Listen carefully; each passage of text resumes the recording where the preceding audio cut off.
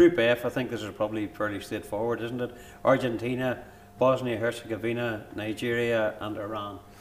Right. Um, again, the Nigerians are very athletic, so they could be the team that qualifies with Argentina. Argentina have got to be one of the favourites. You know, I'd fancy Argentina to go all the way. I think with Messi there as well, and Higuain, Tevez, if he makes the squad. That's right, I know and, he makes the squad. And Kun Aguero, Kun Aguero, what a strike force they've got. So they'll score goals.